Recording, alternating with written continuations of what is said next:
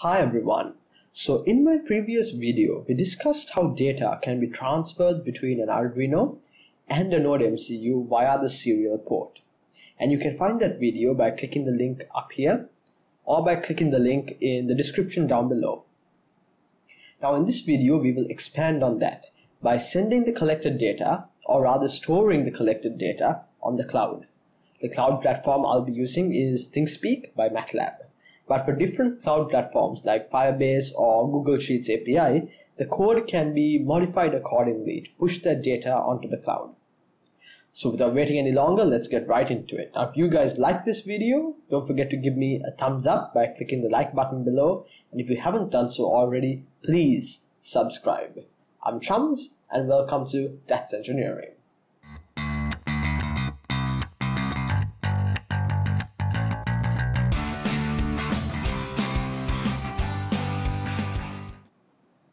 Right, so the big picture here is that the Arduino is being used to perform some sort of actuation.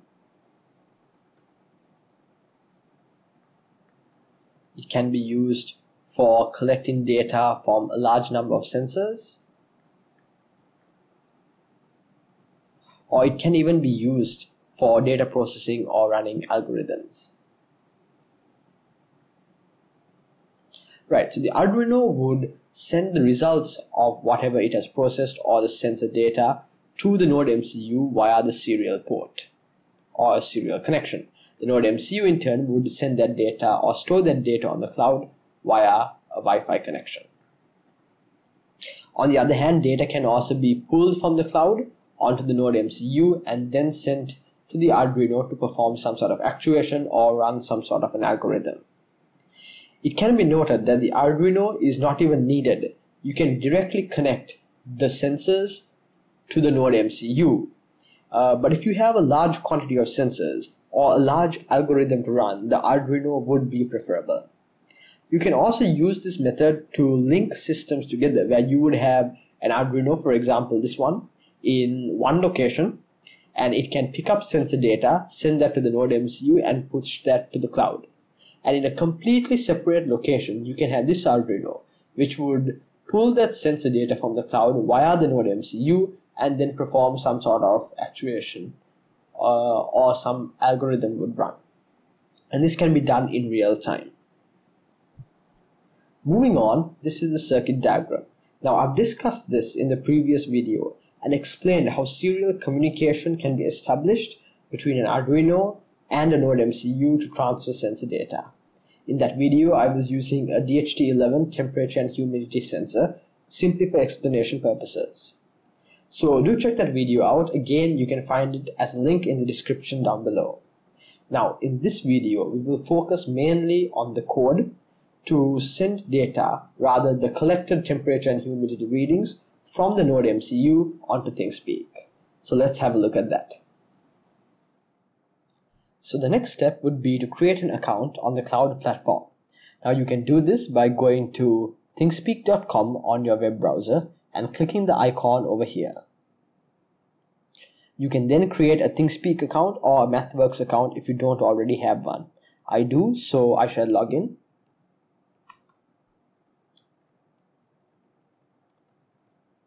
And once you have created your account and logged in, you would come to this sort of a page. So go ahead and click new channel.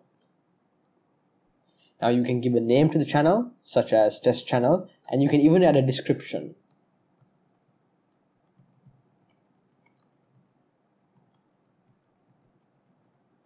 Right. You can then add your data fields. You have an option of 8 data fields. As I'm using a DHT11 temperature and humidity sensor, I will have two fields. The first field for temperature and the second field for humidity.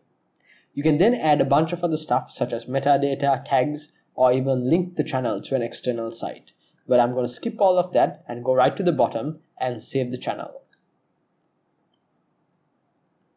Right, so once you have created your channel, you will come to this sort of a home page or a dashboard. Now the dashboard by default will have charts for the number of data fields you have created. So in my case, one for temperature, one for humidity. Now every new data point that is pushed onto the cloud will be dynamically logged onto this chart. you can edit the parameters of this chart by clicking the the pencil button over here and you can edit the title, the axes, colors, backgrounds, number of results displayed, so on and so forth. You can even add your own MATLAB visualizations by coding in the visualizations or by using some of the templates that have been given here such as for line plots or histograms. And finally, you can even add a couple of widgets such as gauges, numerical displays, or indicators. You can even use the data on the cloud to perform certain MATLAB analysis. Now to push data to the cloud, there are two main things you need. The first thing is the channel ID, which is given over here. And the second thing would be the API key. So you can find that by clicking this tab over here. So under API keys, you have two keys. The first one is a write API key, which is to push data to the cloud or to write data onto the channel. And the second is a read API key, to pull data from the cloud or read what's on the channel. And if you look at this over here, you have API requests. So this request is what's used to write data to the channel. And you can see that this field has been specified here. So you can write the specific data value to that specific field. By default, it's given as zero, but you can change this depending on the sensor data you have collected. So just to recap, there are two things that are needed. One is the API key and the second thing is the channel ID. Now let's have a look at the code. Right, so this is the code for the Node MCU. I started off by including these two libraries as discussed previously. I included the ESP8266 Wi-Fi library. Now this was to allow the Node MCU to connect to a Wi-Fi network. I have also left a link to this library in the description down below. In addition, I included the ThingSpeak library. Now this was mainly to read data from the cloud. I haven't really used it in this code, but I've just shown it here. So if you wanted to read data from ThingSpeak, you can use this library, but to push data to ThingSpeak, you don't necessarily need this library. You can find this library by going to Tools, Manage Libraries, and you can search for ThingSpeak.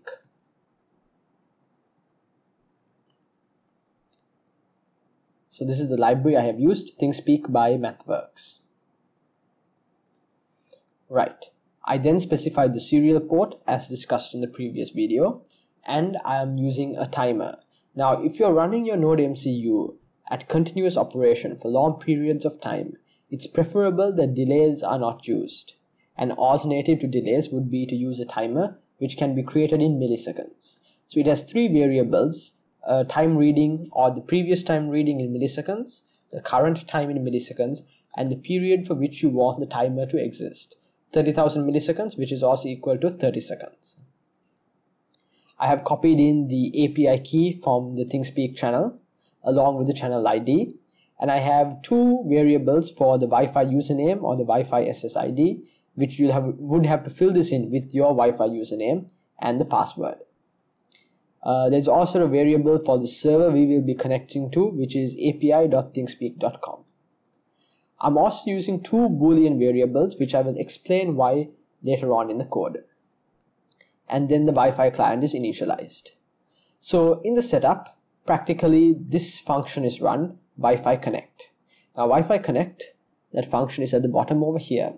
Practically, it uses this command to allow the node MCU to connect to a Wi-Fi network. So Wi-Fi.begin with the input parameters being the SSID and the password. Uh, you can check the documentation for the ESP8266 library. When a node MCU connects to a Wi-Fi, it would return uh, a status code. And if that status code is WL connected, it shows that the node MCU has successfully connected to the Wi-Fi network. So until this status code is received, it would simply print out a dot on the serial monitor with a delay of 500 milliseconds. So this function here is practically to allow the node MCU to connect to the Wi-Fi network. So in the setup, after the node MCU has connected to the Wi-Fi network, it breaks into the loop. Right. Now within the loop, the first thing it does is it gets the current time in milliseconds using this function millis. It then uses an if statement to check if the timer has expired. What this means is that every 30 seconds, this block of code within the if loop will run. and if the timer has not expired it will just skip this and keep running the loop so given the timer has expired every 30 seconds we break into the if loop the first thing it does is it checks to see if the node MCU is still connected to the Wi-Fi. This is because if the node MCU is running for long periods of time there can be signal drops or even power outages. So it's advisable that we recheck to see if the node MCU is still connected to the Wi-Fi network. Given it has connected to the Wi-Fi network, it will then break into this while loop. Before I explain this while loop, let's have a look at these two functions, parse JSON object and cloud connect. So parse JSON object is right here at the bottom. Practically, this function obtains the sensor data from the serial port placed by the Arduino. So it creates a JSON object and it obtains whatever was placed on the serial port if an error is occurred, it returns back to the start of the function call. Otherwise, it gets the temperature and the humidity readings, uh, which are attributes of the JSON object. It runs a check, similar as in the Arduino code, to see if the humidity and temperature is either not a number or zero. If so, it returns back to the function call. The second function is Cloud Connect. Now, this is what's used to send the collected sensor data onto ThingSpeak by creating the API request as seen on the ThingSpeak channel. Finally, it appends this uh, information post string which is created over here. So post string practically contains the field number and the data as a string. So field 1 temperature as a string, field 2 humidity as a string. It then simply prints the temperature and humidity onto the serial monitor and stops the client. Right, so what happens over here in this while loop is that it would first check if as long as state 2 is false, it will keep running this uh, function parse JSON object. So what happens is actually if it runs this function and there is an error or an invalid reading obtained or the humidity and temperature reading obtained is either not a number or zero, it would return to the function call. So it would keep running this until a valid set of humidity and temperature readings are obtained. Given they are obtained, state 2 will be set to true. When this happens, it can break out of this while loop. So this ensures that a valid set of readings are obtained from the serial port from the sensor from the Arduino. The second while loop operates on this first variable, first boolean variable state 1. So what happens here is it uses this if statement in Cloud Connect to see if it can connect to the API, uh, the ThingSpeak server. If it cannot connect to the server, this state 1 will not be set to true. So given that it is it has successfully sent the humidity and temperature readings to the cloud, state 1 will change to true and it will break out of this main while loop. So what these two while loops ensure is point 1 that Valid humidity and temperature readings are obtained from the data placed onto the serial port and that the data is successfully sent to the cloud. If not, it will just keep rerunning this function until that happens. I then reset the two states back to false, uh, print that the cloud connection has been successful, and this final term here is to reset the timer so that it will run again after another 30 seconds. Right, so that's all for the Node MCU code. Let's upload this code onto the devices, run it, and see how it works. Right, so I have connected my Arduino and Node MCU and I have uploaded the codes onto their respective devices. So I'm going to open the serial monitor on the Node MCU and I'm going to press the reset button on the Node MCU. So as you can see, it connected to my local Wi-Fi network and after 30 seconds it will try to pick up the temperature and humidity readings placed on the serial port by the Arduino and then send those readings to ThingSpeak. So let's wait for 30 seconds. Right, so it performed the Wi-Fi check to see if it was already connected to the Wi-Fi, which it was. It received the JSON object with the temperature being 30 degrees Celsius and the humidity being 79% and successfully pushed it to ThingSpeak. So let's go ahead and have a look at ThingSpeak. So you can go to private view and on the charts you would see the data point. So this was the previous data point and this was just uploaded right now. So let's wait for another another 30 seconds and you would see the most current data point or you would see these two charts dynamically updating themselves.